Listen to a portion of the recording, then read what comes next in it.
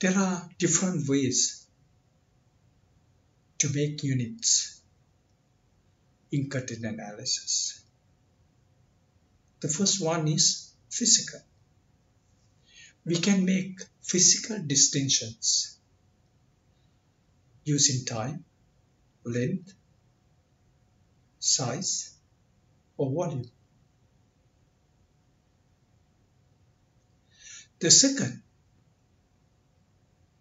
is to make units using grammar in a language, syntactical. The third is to make units by creating categories, class or category is something that have in common. They have in common objects, events, people, act, country, or idea. The fourth is to come up with units using propositions. It's where there's some meaningful relationship between conceptual components. is based on meaning. The fifth is to define units using themes, their strands of meaning.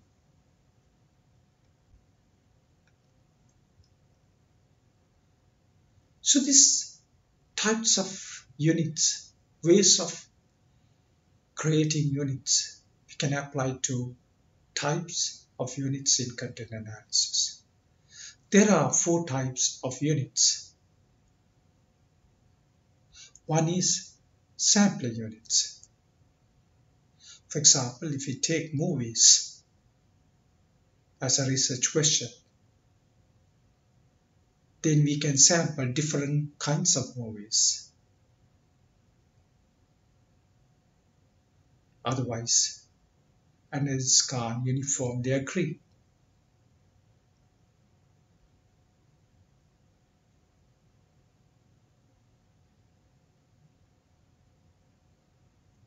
The second is to come up with recording units.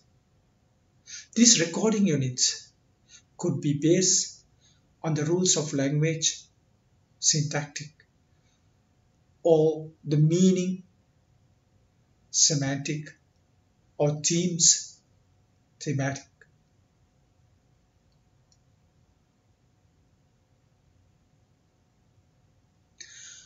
The third is context units.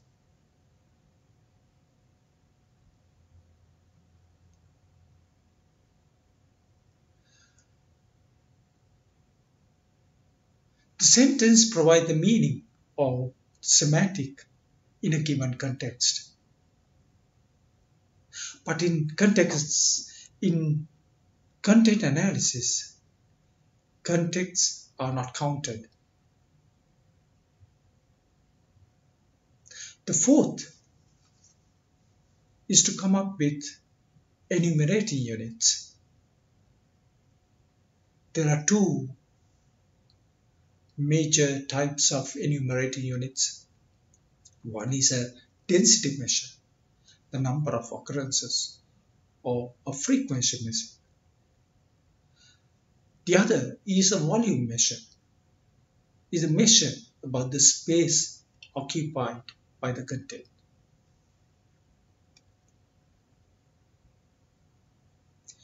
If you apply these two movies as content. We can look at a data set or a content of movies in different contexts. Context, one context is to look at as movies on television. Another context is to look at movies on internet. So the movies on television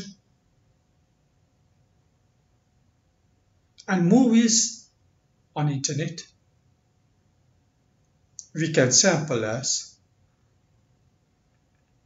horror movies and comedy movies and create two samples for each context.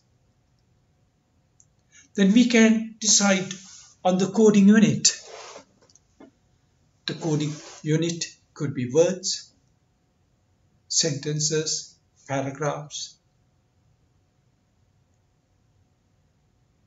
So if the coding unit, if you have selected here as words, we can use words for all the sampling units. Using words, we can enumerate and the enumerating unit could be the number of times slang words appear.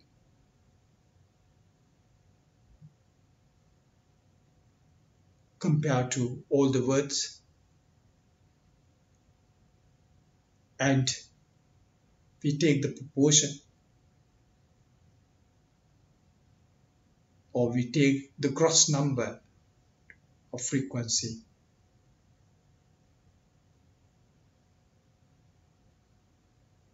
and that becomes the enumerating unit.